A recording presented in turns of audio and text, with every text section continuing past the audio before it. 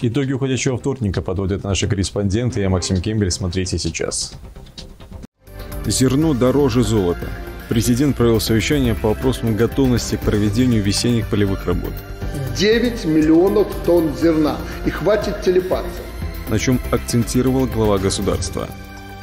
У страха глаза велики. Я знаю, уже время было такое, что э, люди запасались, а потом все выбросили на мусорку. В белорусских магазинах появился ажиотажный спрос на сахар, крупы и соль. Обоснована ли паника?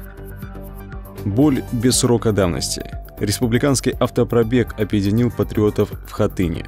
Отдаем дань памяти и уважения тем, кто погиб в те далекие годы. Сколько продлится всебелорусская молитва. А также государственная поддержка, новая цена и весенний прогноз – в среду в Беларуси ожидается до плюс 19 градусов. Стоит ли планировать отдых на природе?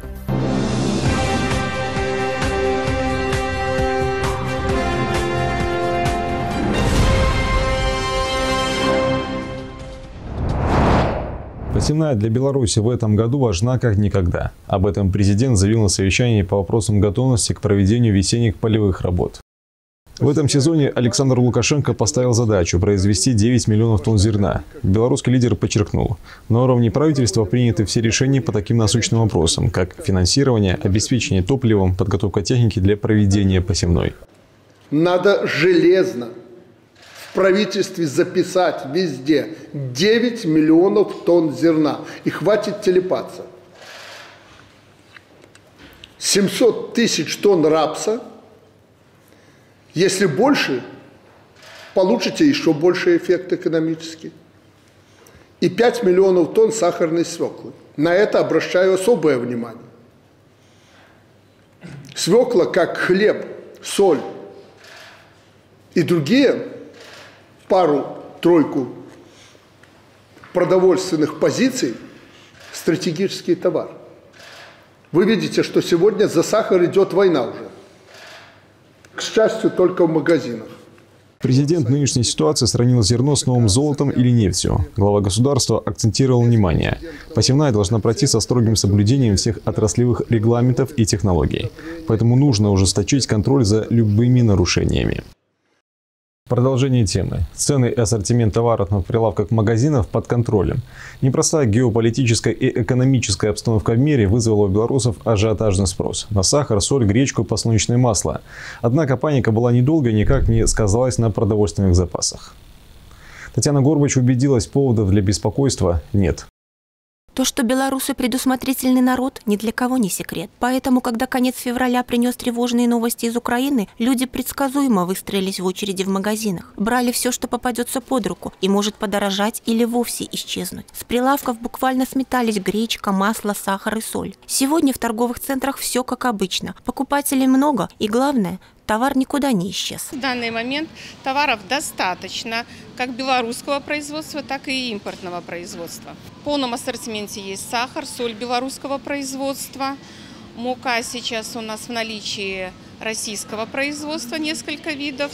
Вопросы продовольственной безопасности под особым контролем. У стабилизационных фондах позаботилось государство. В стране более чем достаточно производится молока, мяса, растительного масла, яиц, сахара, овощей и зерна. Запасами заполнены склады. Ни о каком дефиците товаров речи не идет. Хватает в магазине всего, цены адекватные. Так что запасаться, как некоторые хватает, я ничего не собираюсь. Вот сейчас прошел по крупам, по макаронам, всего хватает. Сахара, пожалуйста. Никакого ажиотажа нету. Здесь всегда все свежее, интересное. Особенно мне нравится местное производство. Всегда все в доступности. И я не покупаю там заранее на очень э, огромные сроки. Я знаю, уже время было такое, что э, люди запасались, а потом все выбросили на мусорку. Я вот, вот взяла молочко там себе на каждый день, чтобы с дедушкой покушать. И, и больше ничего, не запасаюсь. Доля продуктов питания белорусского производства в магазинах выросла и составляет около 77%. Комбинаты и фабрики работают в обычном режиме. Около 50% излишков отправляется на экспорт. Так что даже при самых пессимистичных прогнозах голод нам не грозит. Торгуем сегодня больше, чем со 100 странами мира.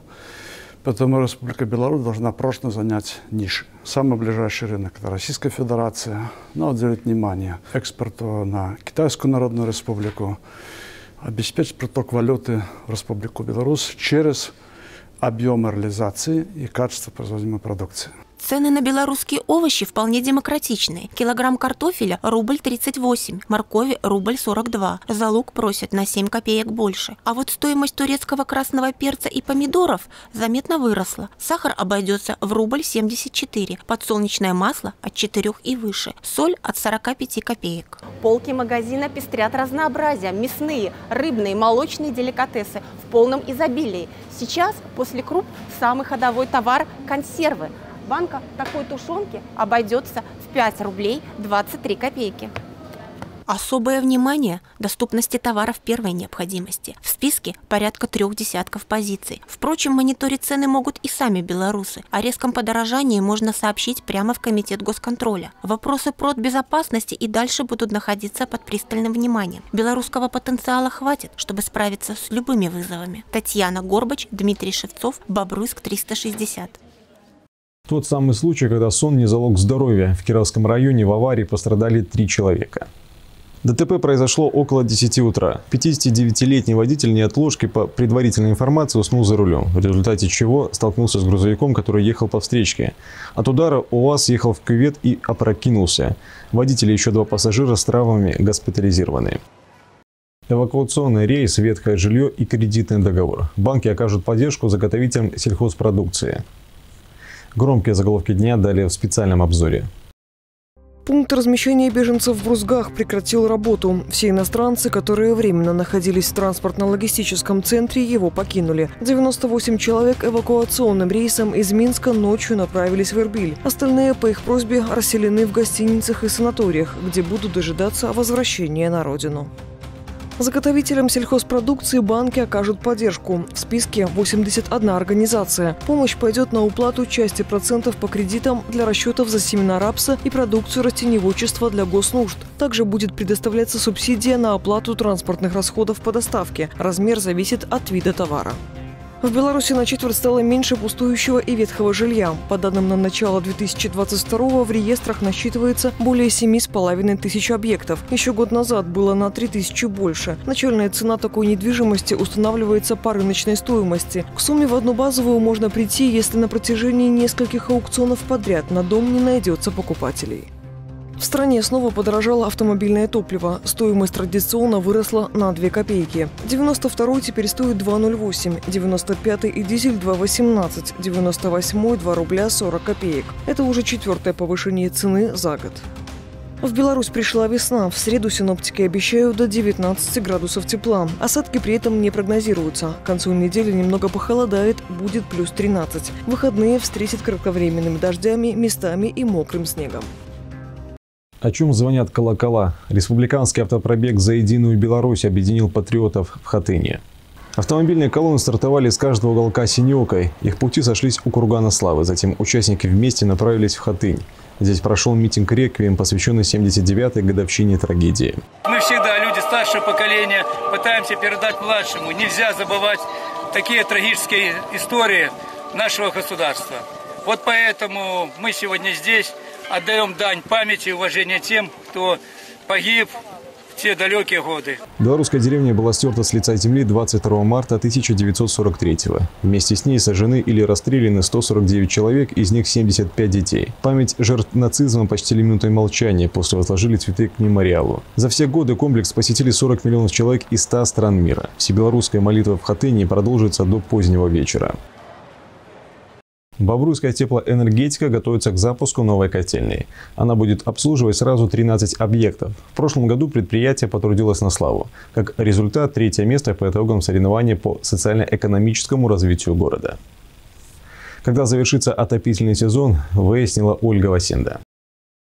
В этом здании на Орловского строится новая котельная. Готовность 70%. Тепло и горячая вода отсюда будут подаваться в 10 жилых домов и 3 учреждения образования. В 20 и 46 детский сад и дюш номер один. Проект разрабатывался с учетом всех современных требований. Это гарантирует соблюдение нормы по содержанию в воздухе вредных выбросов. Котельная будет работать на природном газе. Оборудование здесь установлено итальянское. Система значительно сократит затраты на производство производства тепловой энергии. Бобруйская теплоэнергетика привела в порядок и общественные бани. Их в городе три. Здесь модернизировали помещения, обновили оборудование и расширили спектр услуг. На Кирова для любителей попариться создали максимально комфортные условия. Провели капитальный ремонт. Мы полностью обновили мужское отделение. И сантехника, и электрика была заменена. И также частично была заменена плитка на стенах. Сантехнические приборы тоже были все заменены. Благодаря госпрограмме предприятие ежегодно проводит и замену изношенных трубопроводов на эффективные и изолированные. В плане на 2022 обновление более 9 километров сетей и 6 теплообменников. Срок службы современного оборудования выше, а гидравлические потери ниже. Меньше и затраты. Наше предприятие еще э, выполняет множество других э, работ по обслуживанию этих же теплотрасс, чтобы они, по крайней мере, еще служили нам долго, долго и праведно. Чтобы как бы экономить и свои средства, и средства бюджета. Ну а очередной отопительный сезон подходит к завершению. В этом году, отмечают специалисты, он прошел без аварийных ситуаций и перебоев. Батареи отключат, когда среднесуточная температура воздуха достигнет плюс 8 градусов и будет держаться в течение минимум трех суток подряд. Обычно подачу тепла прекращают во второй половине апреля или в мае. Ольга Васенда, Дмитрий Шевцов, Бобруйск, 360. Это все и события к этой минуте. Смотрите нас в интернете и соцсетях. Мы в эфире каждый будний вечер. Счастливо.